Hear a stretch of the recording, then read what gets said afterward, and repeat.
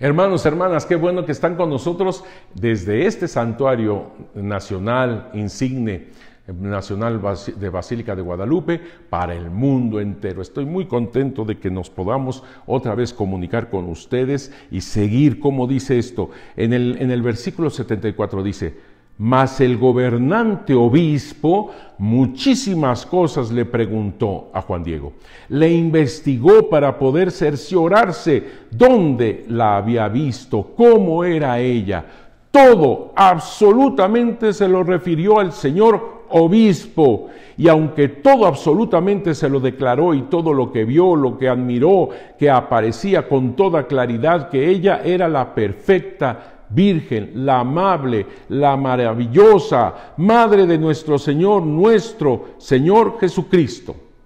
Aquí hay muchas cosas que nosotros debemos de hacer notar que son muy importantes. Dos veces habla de obispo. Por eso hago la referencia que este documento, este manuscrito del Nican Mopowa, lo escribe entre 1545 y 1546. ¿Por qué? Porque el señor obispo fue arzobispo de febrero del 46 en adelante.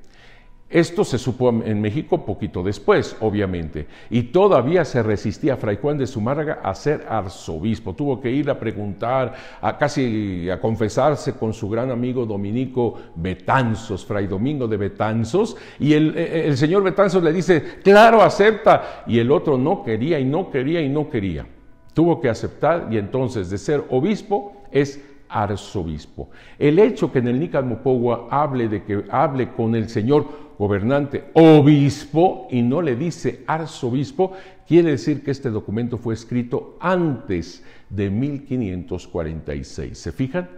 Antonio Valeriano tiene buena edad como para saber comprender, para saber escribir caracteres latinos y tiene toda su cultura náhuatl. Él entra al Colegio de la Santa Cruz en 1536, el autor de este Nicalmopogua, cuando él tendría alrededor de 15, 16 años. Entonces, imagínate, ya para 1545-46 él tendría alrededor de 25 años. Perfectamente. En aquel entonces, 25 años era prácticamente la mitad de la, de la edad de la vida, digamos no, estaba ya maduro. Claro que sí. Alguno por ahí, eh, digamos, desgraciadamente dice, no, es un documento que hizo mucho después, en 1560, porque tuvo que ser muy grande de edad para poner las cosas preciosas que se ponen en el Nica No, Antonio Valeriano no inventó nada, sino que las cosas preciosas son una realidad que supo por voz de Juan Diego.